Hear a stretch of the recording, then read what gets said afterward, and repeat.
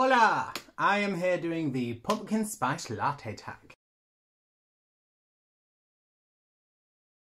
So, this is going to be fun. I was tagged to do this from Laura, from what everyone else is reading, and I'm really excited to do this. It's Halloween, it's spooky, don't like pumpkin spice latte, but we don't mind. So the first question, pumpkin spice latte. A book everyone likes to shit on, but it's delicious. For me, I'm going to go with the obvious for me, the Mortal Instruments series. Um, not necessarily the last three books, not the biggest fan. But book one, two, and three were gold. I love them, and everyone always shits on them. Everyone hates them, and I love them so much. I don't like it when people call them. Um, so people always crap on the Mortal Instruments. I don't think it deserves it. I loved it. I'm happy with it. No one's going to convince me otherwise. Next is Fall is my favourite season. A cliche you just can't get enough of.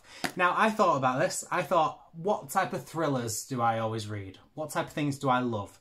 And the one I come up with is The Killer is One of Us. Like, that's my favourite trope. It's kind of like a locked room one where there's people trapped in a room. You know that one of them has to be the killer and then it's just a case of figuring out which one. I love that. I loved it in Agatha Christie. I'm assuming other books are going to be similar. I love it. I'm a big fan of it because I like that it's guessable. I've read a lot of thrillers where the killer just turns out to be this randomer that you've never even heard of before, and I'm like, oh, right, okay. And whilst it was really good, it's not what I prefer. I like knowing that the killer is going to be one of these people and I like trying to figure out which one it's going to be. That is my favourite type. I love it. It is great. Wow. Next, sweater weather in the morning, t-shirt weather in the afternoon. A book you thought was one thing, but was completely different at the end. I went for You've Been Warned by James Patterson and Howard Roughan. This, this I thought was just going to be a very run-of-the-mill basic thriller. It's going to be about a woman who basically has an affair with the husband of the wife whose children she's looking after. That got complicated. Basically, she's the nanny and she's sleeping with the father of that group. I thought it was going to be about her getting warned, saying, You are not doing this, you're getting too big for your britches, madam. Um, you've been warned, back off. I thought that's what it was going to be about, and it was going to be a thriller about her getting threatened. Uh, no, no, I can't really tell you what it is because spoiler territory, but really, really good. And I really loved it. It's more of a supernatural thriller. And that is as close as I can get to telling you without spoiling anything. But, mm, that was, oh, it was elite. That was truly elite. Next, spoops. Do you have a spooky book on your TBR?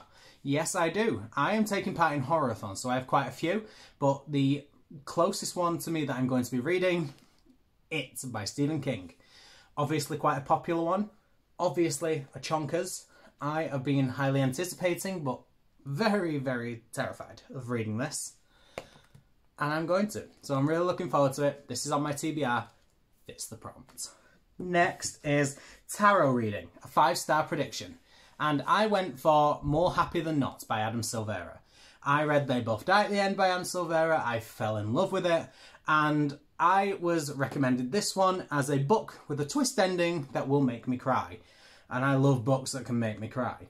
And because I loved They Both Die at the End so much, I thought, I'm going to give it a go. I bought it, and I honestly think it's going to be five stars. Finally, Sephora Sage and Crystal Set a book that means well but missed the mark by a landslide. And I went for Gone by Michael Grant. I think this had so much promise. It was a really good potential book. It was really interesting. The idea of people disappearing once they hit 15, the idea of these children now having superpowers, I, I loved the idea. It was just so badly written. It was written terribly to the point where I had to give it a two star rating.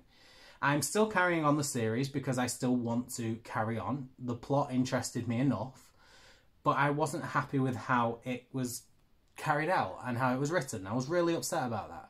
Still, I think it missed the mark, but it had such good intentions.